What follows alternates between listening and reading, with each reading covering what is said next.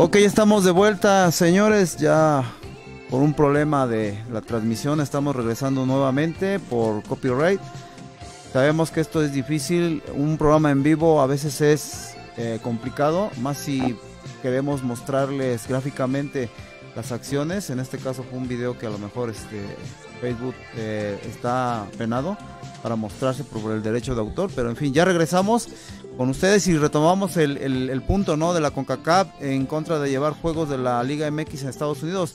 Te escuchamos Nacho, retomamos el tema. Este Helio también, ya estamos nuevamente en el aire.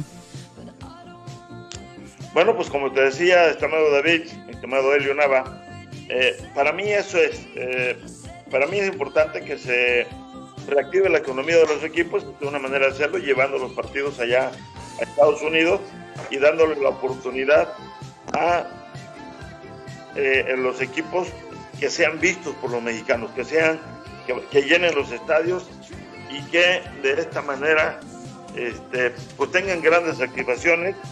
Lo único que pondría en contra es lo de la pandemia, el traslado, ir y venir y que puedes acarrear el virus, pero la CONCACAF para mí que ahí no debería de eh, oponerse a esta situación. Y no sé qué comentarios tengas tú, Helio o David. Adelante, Helio. Sí, este Nachito, David, ya estábamos comentando, bien metidos en el tema acerca de, de que, tanto afecta, ¿verdad?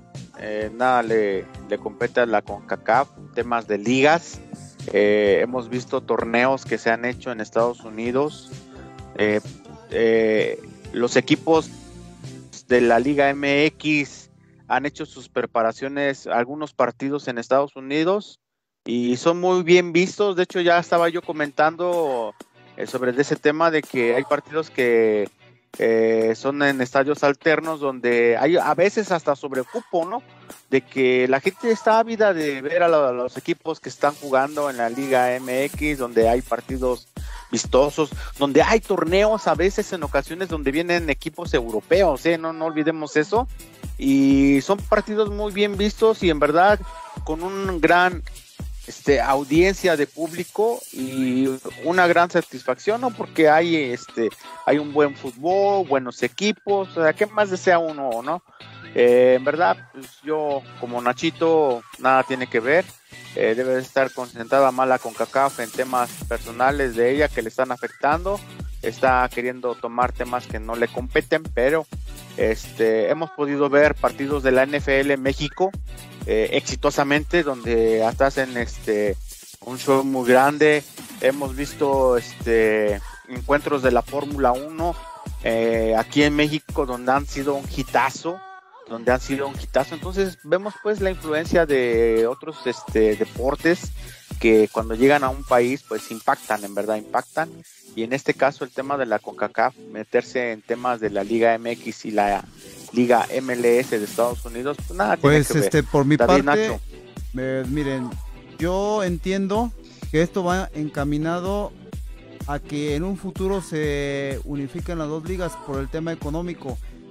Esto les ha afectado también por el tema de la pandemia y, se está viendo de que se mueva ya esto y que se unifiquen las, las ligas. Pero recuerden que nosotros estamos regidos por un órgano que se llama CONCACAF. Entonces, ha de haber muchas envidias en este aspecto, ¿eh? Para mí, este, ya lo había dicho Michael Arriola en una entrevista que tuvo, que por lo mismo que les estaba yo comentando, están viendo la necesidad de que sus arcas vayan creciendo. Esto de la pandemia no sabemos hasta cuándo se vaya a acabar, pero es encaminado a que en un futuro se lleguen a fusionar estas dos ligas y ofrezcan este servicio. Recordemos que tenemos paisanos del otro lado que consumen demasiado fútbol mexicano. ¿Qué quiere decir con esto?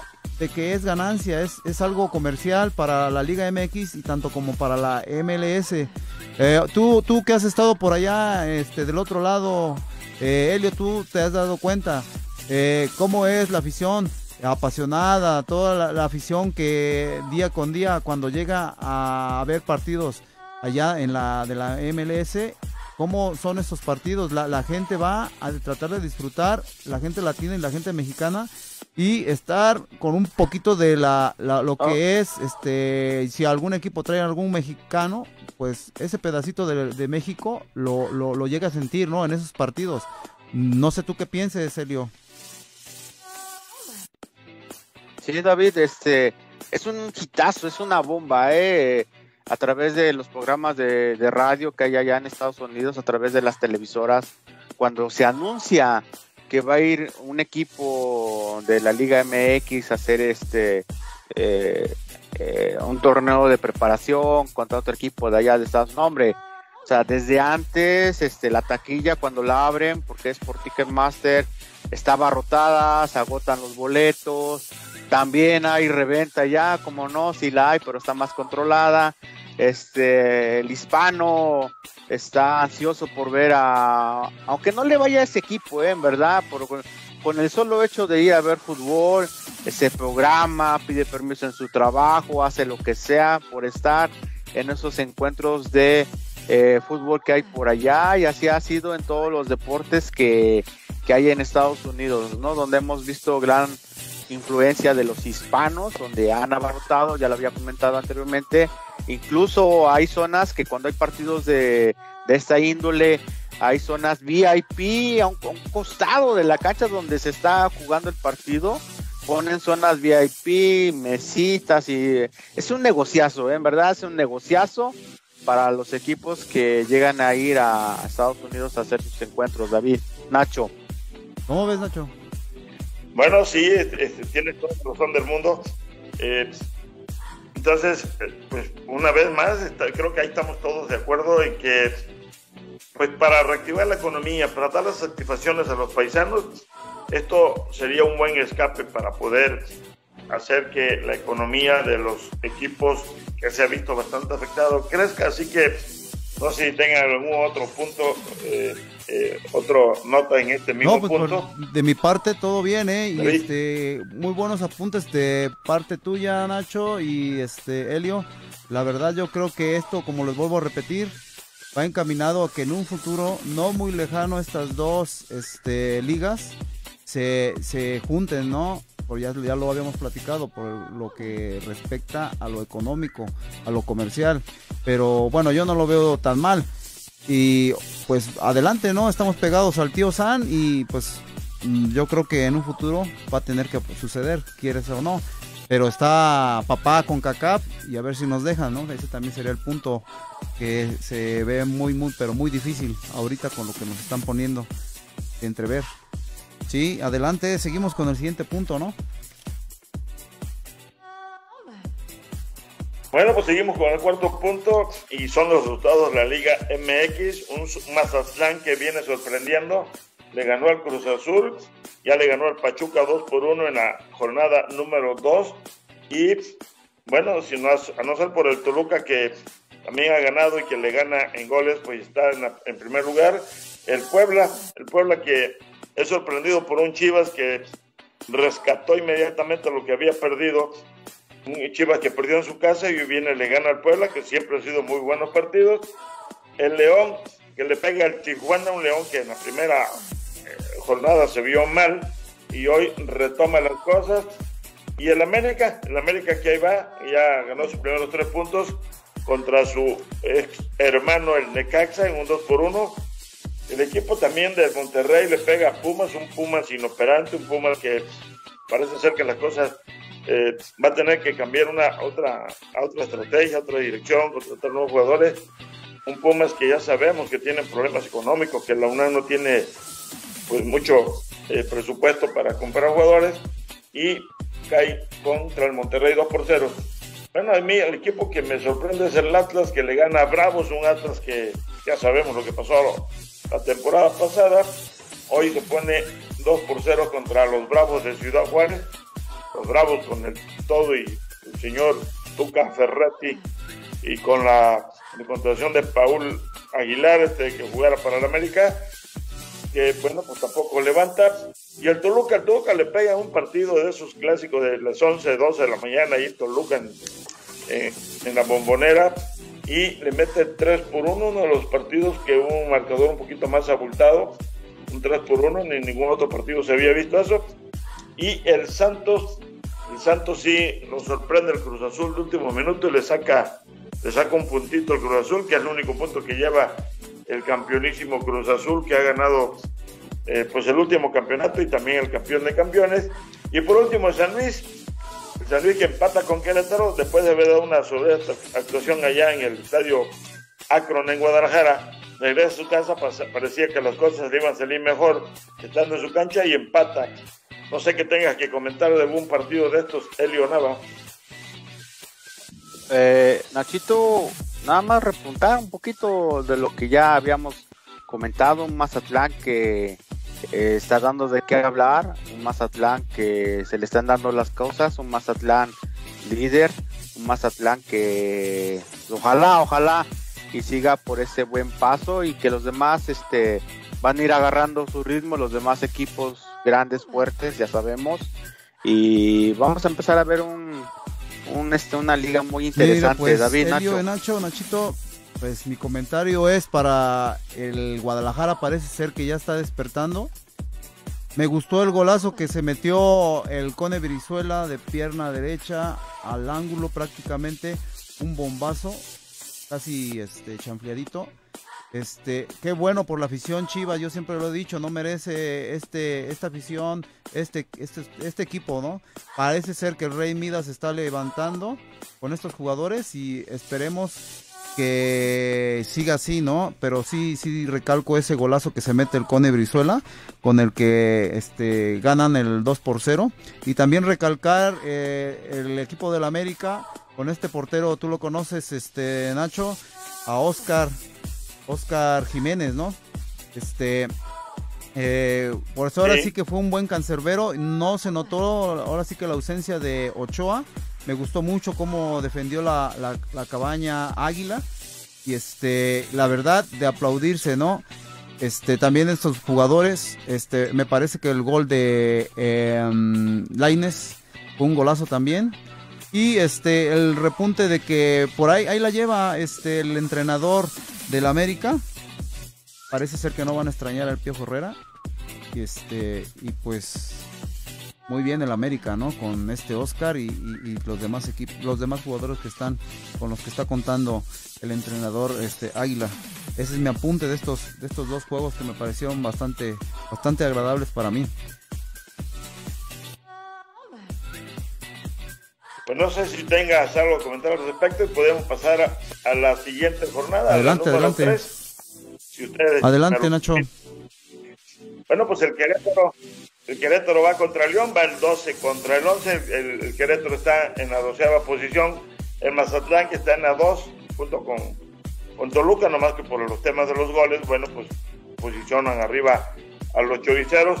Eh, aquí vamos a ver, el Mazatlán se enfrenta a un Monterrey que con el señor Aguirre, su director técnico, un hombre muy capaz, más que probada su, su capacidad como entrenador, y a ver qué pasa allá en el puerto de Mazatlán. El Necaxa va contra Cruz Azul, esperamos que, sea un buen partido, un Necaxa que no está, no ha ganado ni un solo punto, un Cruz Azul que solamente lleva un punto, Cruz Azul que estaba en la tercera posición, y, el Tijuana que va a enfrentarse al Toluca. El, Toluca, pues ya sabemos que está en la primera posición. Y la Chivas va contra los Bravos de Ciudad Juárez. Los Bravos también tienen una la posición más baja en la tabla de posición, están en el número 18. Así que a ver cómo les va a estas Chivas que juegan en su cancha, por cierto. Y el América va contra el Puebla. Estos partidos de América Puebla siempre han sido buenos, buenos encuentros. ¿eh? Y un América, pues ya sabemos, está en séptima posición contra el Puebla que anda, no anda muy bien. El Tigres, Tigres Santos, este se me hace un buen partido. ¿eh? El Tigres siempre da que decir, un Tigres que, bueno, pues ya sabemos lo que está pasando, que ya la Universidad de Nuevo León ya no es por ahí la mayoritaria, ya hay una empresa que se encarga de la administración de estos Tigres, pero que siguen jugando el fútbol de la misma manera. Se me hace que por ahí incluso eh, no lo hemos comentado, habría, que hacer un tema de conversación de por ahí está la salida de, de Tuca Ferrete de los Tigres porque ya no pertenece en su tutela a la Universidad de Nuevo León allá en la Sultana del Norte. Y los Pumas, los Pumas van contra el San Luis dos equipos que tienen altas, tienen bajas, le ganan al América, al Chivas, perdón, pierden, eh, em, empatan en su cancha, no los no lucieron de muy buena forma San Luis, a ver cómo le va con el Pumas, y por último el Pachuca, que bueno, pues ahí va, y el Atlas que está en quinto lugar. Así que Pachuca contra Atlas serán los partidos de la semana que viene, empiezan el jueves y terminan el domingo. Ahora con esa nueva modalidad de que hay partidos domingo, perdón, jueves, viernes, sábado y domingo, incluso ha habido hasta los lunes. Y así están las cosas para la semana que entra. Algo que comentes, David o Helio. Helio. Eh, no, no, no, está muy bien dicho la información.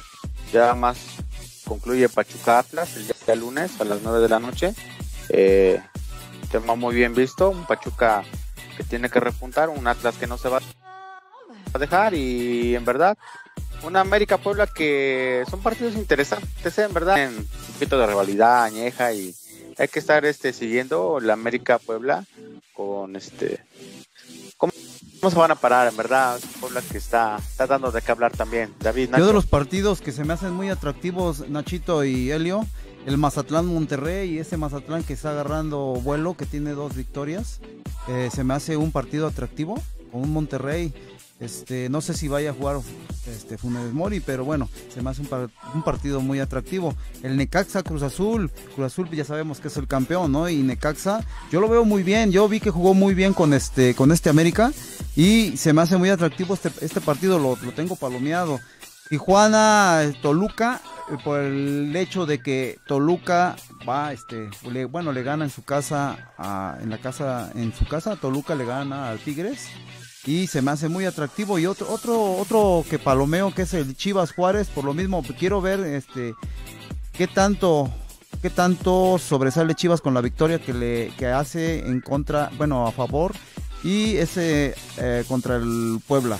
Es Chivas Juárez, América Puebla también por lo mismo, eh, quiero ver cómo levanta este América con esa victoria que tuvo esta similar de eh, Necaxa. Y este el Tigre Santos que mencionas, este Nacho, igual quiero ver esos Tigres con este Herrera y quiero ver que los levante. Este, me parece un muy buen técnico y yo creo que es muy tempranero este torneo. Y vamos a esperar, ¿no? Vamos a esperar que todos estos eh, equipos, máxime los, los que son potencia, se levanten y den su, su mejor cara, ¿no? Ese es mi comentario. Pues no sé si tengan algo más que comentar y pasamos para pasar al siguiente punto, los mexicanos que están por emigrar a Europa. Sí, claro.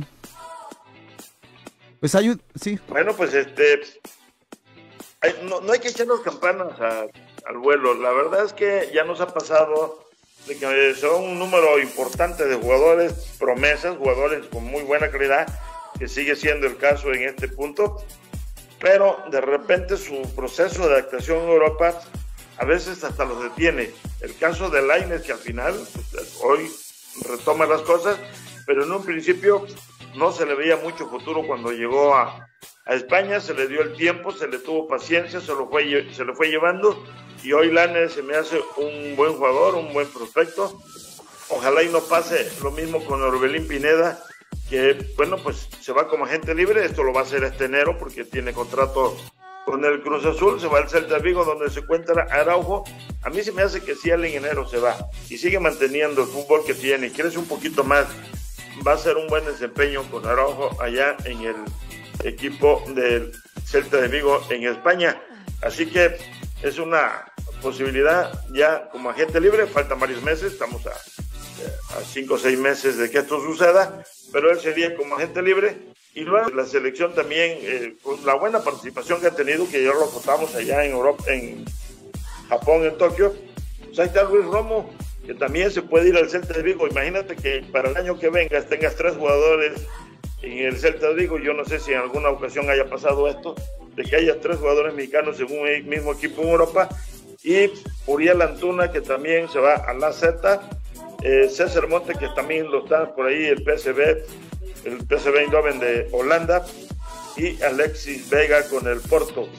Están mira también tiene unas posibilidades, este, Jorge, eh, este muchacho que está en la mira y que pues el Everton, también otro equipo que importante en Inglaterra, Sebastián al Real Betis, Sebastián Córdoba y Johan Vázquez al Sevilla. La verdad son ocho prospectos, pero a mí me gustaría que fuéramos cautelosos, que, son jugadores que algunos van a despuntar muy rápido, que algunos van a, demostrar su calidad de fútbol muy rápido, algunos van a hacer su proceso más lento.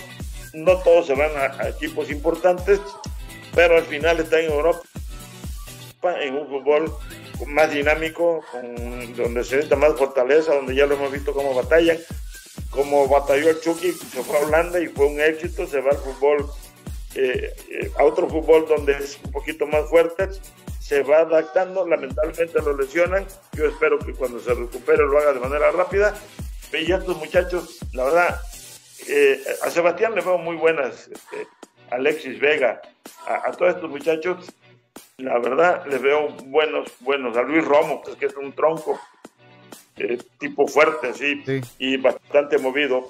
Se me hace que, es tronco ahí para detener algo, el, tipo tiene con qué. Así que esos son los que se pueden ir, pero yo, en mi manera muy particular de ver al fútbol y con lo que conozco, con la experiencia que me dice que se han ido por racimos y han ido creciendo, cuando vienen a México esperamos que, nuestra selección sea pues una selección europea y que vea y le pegue a todos.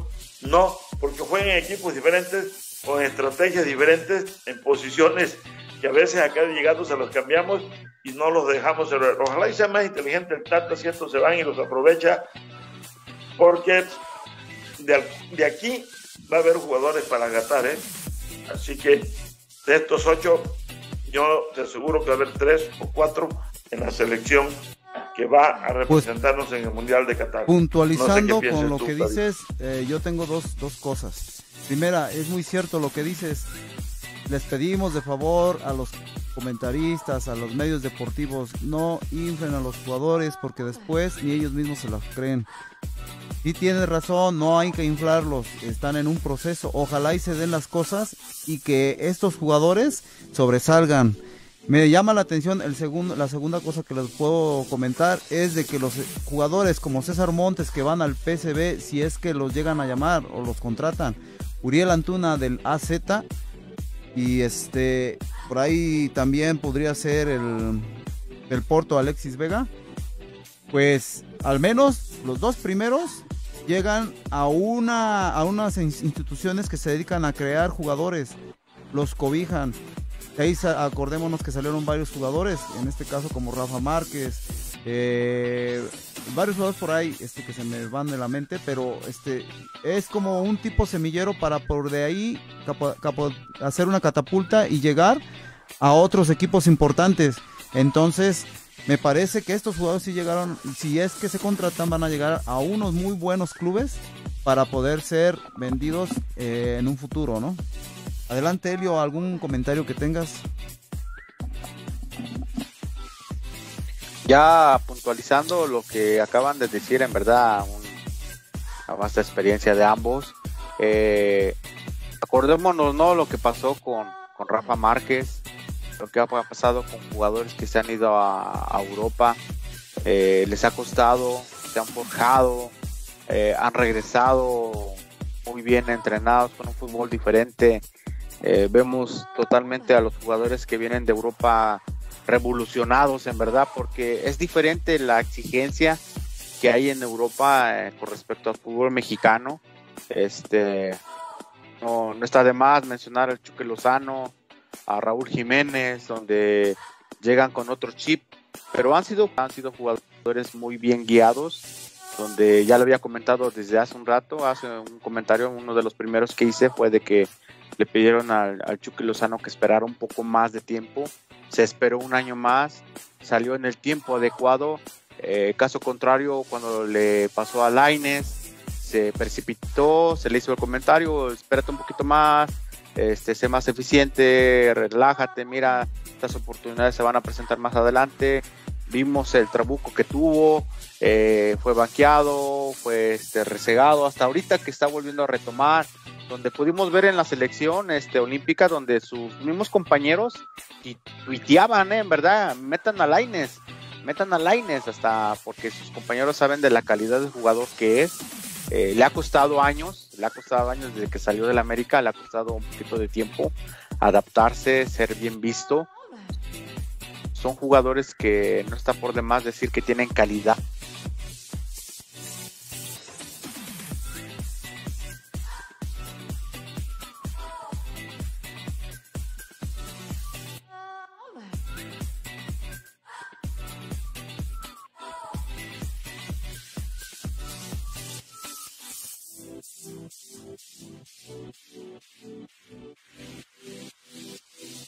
comentarios, estas sugerencias que han surgido y que todo vaya para el bien del fútbol mexicano con respecto a la selección.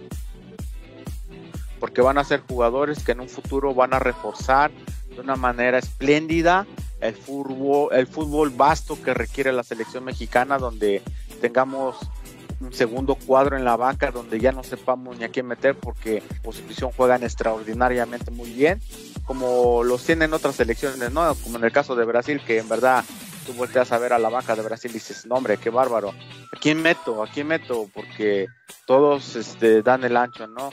esperemos que sean muy bien vistos por los, este, los clubes europeos que están poniendo sus miras en estos grandes jugadores que tenemos mexicanos y que les den la oportunidad, sobre todo eso, ¿no? Que si se llegan a ir, que les den la oportunidad y que ellos adapten y que no se vayan a inflar como muchos lo han hecho. Y muchos han regresado, ¿eh? en verdad, muchos han regresado a México este, un poquito derrotados, donde no ha pasado por nada, este, donde han pasado de blanco y se han venido así, nada, así como se fueron, así regresan y tan tan. A caso contrario, otros jugadores que han, se han ido, se han esperado, se han formado eh, y han regresado como grandes, grandes jugadores, como el caso del Kaiser, Rafa Márquez. Ese sí no se me olvida desde que soy este fan del Barcelona por Rafa Márquez. Créanme. Este Nacho, David. Sí, claro. Bueno, pues hacer comentario, la verdad es que eh, tienes razón tienes razón y ya lo acotaba también este, hace un rato, pues ahí están esos, muchachos, digo, lo bueno es que se van, eh, esperamos que se contraten del mínimo el 50% de lo que estamos hablando, las posibilidades son enormes, son grandes, pero lo que dijiste, pues no inflarlos, hacerlos como, pues al se nos estaba cayendo, el tipo, el chamaco tiene agallas, volvió por sus fueros, no se desanimó, siguió adelante y hoy vemos un, un Laines ya más maduro, más metido en el fútbol, con, mejores participaciones y dándole algo a México. Y ya para terminar, bueno, pues espero que eh, la selección haga un buen papel, la olímpica ya en Tokio, que el bronce nos lo traigamos, que todo eso que se ha hablado de Dani Alves y toda la gente que está luchando a la selección, los rumores de que Lozano es uno de los mejores estrategas que hay ahorita en las Olimpiadas eh, dé resultados y que sí sea cierto. Así que, comentario, pues, Nada más para invitarlos que vean el partido de México-Japón. Van por la medalla de bronce, el tercer lugar, que sería para el día viernes 6 de agosto, tiempo del centro de México, otra desmañanada. Esperemos que sea una desmañanada con una sonrisa, ¿no? Plena. Eh, en el estadio eh, Saitama una transmisión, este pues ya sabemos que ahorita los derechos los tienen marca claro. Eh, ahora sí que Slim es el, mero mero fregón ahí, ¿no? TV Azteca, TUDN, Imagen Televisión van, van a transmitir esos partidos de la selección mexicana. Y este, y pues, pues nada es que nada, el partido de la gran final, ¿no? Que sería Brasil-España. Querían por la medalla de oro. Este sábado, sería el día sábado, 7 de agosto a las 6 y media de la mañana en el Internacional Stadium de Yokohama. En la transmisión, ya lo sabemos por marca claro, y canal de YouTube. Eh, no estoy seguro con el dato si lo voy a transmitir televisión abierta, me imagino que sí, pero aquí el dato que me dan nada más va por YouTube, por, por YouTube, perdón, de marca, marca claro. Entonces, este, pues sí, ¿no? Invitarlos a que, a que acompañen a la selección mexicana, vamos a verlos y pues adelante que se, se forje esa medalla para traérsela y la disfrutemos todos nosotros como afición, ¿no? Sí, ese es, ese es mi comentario, este, muchachos, compañeros. ¿Algo más que quieran? Bueno, si no. Sí, adelante, Sí, este, Nachito, David, eh, buenas vibras, buenas vibras para esos jugadores olímpicos. Eh, toda la suerte del mundo, en verdad. Han llegado ahí porque han hecho un gran esfuerzo, todos, todos, desde el preparador físico, el utilero, el que prepara los uniformes, todos, todos, todos son un gran equipo. Eh, están ahí porque se lo han ganado y en verdad que, que les vaya muy bien este viernes, 6 de la mañana. Y, y qué bueno, ¿no? Empezar el, el día viernes con una medallita más. Podría ser la cuarta, no sé. Entonces, este, buenas vibras, este, Nacho, David. Claro, pues bueno, pues ya esta sería la información calientita que tenemos. Ya la compartimos. Otra vez les pedimos una disculpa. Nos cortaron la transmisión por derechos de autor. Y no queda otra más que despedirme de ustedes. Este, esperamos a toda la audiencia de Facebook que nos sigan compartiendo, que nos sigan por esta plataforma de Digital Fútbol, es el stream futbolero. Y este, pues vamos a estar por acá en la, en la próxima emisión, ¿no? Y pues dándole las gracias, Nacho. Otra cosa que quieras decir por ahí para eh, darle cabida y terminar el programa, Belio. ¿Estamos bien? ¿Estamos bien? Nachito, Nachito. Eh, nada, solamente decir a la gente muchas gracias a los que nos ven, a todos los aficionados del fútbol, decirles que eh, México está en un proceso todavía, no somos potencia mundial como se, muchos están manejando, no somos potencia olímpica, tenemos un buen fútbol muy aceptable, de muy buen nivel, con mucha calidad, con mucha entrega, pero nos faltan puntos por afinar.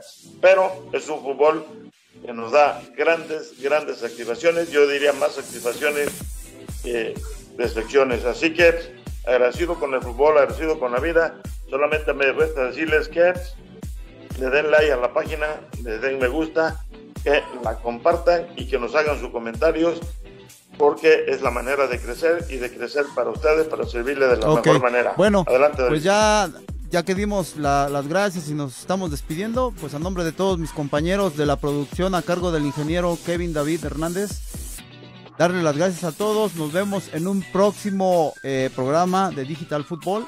Estamos acá próximamente, nos vemos, nos enlazamos y hasta pronto. Nos vemos. Buenas noches.